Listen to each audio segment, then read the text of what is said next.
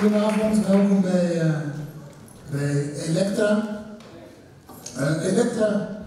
Uh, is, is, de naam van een, van een cd, een project waar wij zo'n twee jaar geleden mee begonnen. En dat ontstond eigenlijk vanuit de fantasie wat er gebeurd zou zijn als Miles Davis en Jimi Hendrix samen in het echt beland waren in de studio.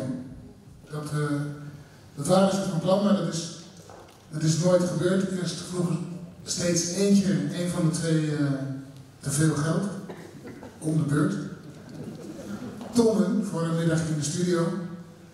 En, en toen uh, overleed Jimi Hendrix, dus toen is het nooit meer gebeurd. Maar dat leek ons een, prachtig uitgangspunt voor een, voor een fantasie. En dat gaan we vanavond spelen, inclusief visuals. Die worden gedaan door Job Genio.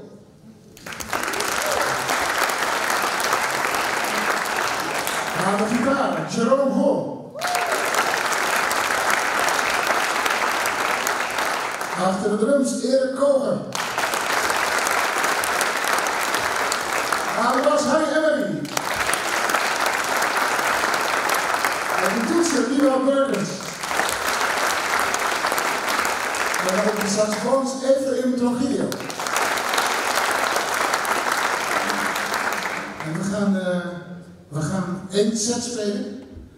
Dat is uh, het mooiste, want we, proberen echt uh, uh, ons te bewegen richting, richting het psychedelische tijdperk van de vroege jaren 70.